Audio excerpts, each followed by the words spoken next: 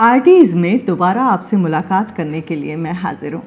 हमारा ये कारवां आगे बढ़ रहा है और आप सब इसी में जुड़ रहे हैं। शुक्रिया आप सभी का। ये सफ़र और भी सुहाना लगेगा अगर इसमें आप और साथियों को जोड़ेंगे, क्योंकि हमारा मकसद ही यही है कि हम कला को हर दिल का हिस्सा बनाएँ। अब भाई, आज आपसे जब बात हो रही है तो मुझे एक अपनी पोस्ट ग्रेजुएशन का किस्सा याद आ रहा है।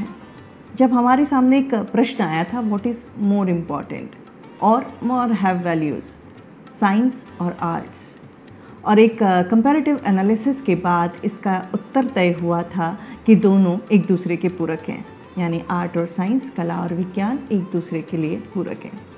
खैर ये तो एक तार्किक टॉपिक की बात है लेकिन जब मैं आपसे सच कहूँ कि कला वाकई हमारे लिए बहुत महत्वपूर्ण है अगर आप पेंटिंग करते हैं या कला, कोई कला करते हैं तो ही कला आपके लिए ऐसा कतई नहीं है।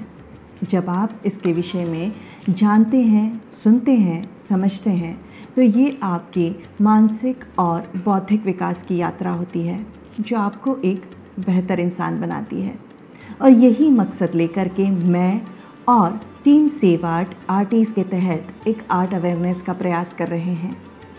ताकि हम सभी अपने स्वर्णिम कल को जान करके एक उज्जवल कल बना सकें। और इसमें आपका साथ बहुत ज़रूरी है। तभी तो बात बनेगी। अगले पड़ाव पर मैं आपके साथ में शेयर करूँगी भारत के बेहतरीन आर्टिस्ट के बारे में, उनके आर्ट फॉर्म्स के बारे में, उनके आर्ट टेक्निक्स के बारे में।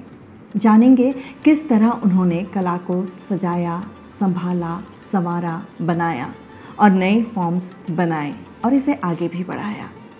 इसके तहत मैं आपसे कुछ ऐसे भी किस्से शेयर करूँगी, इतिहास के कुछ ऐसे पन्ने भी हम देखेंगे, जहाँ आप सुन के आप कहेंगे, अरे वाह, ऐसा भी था।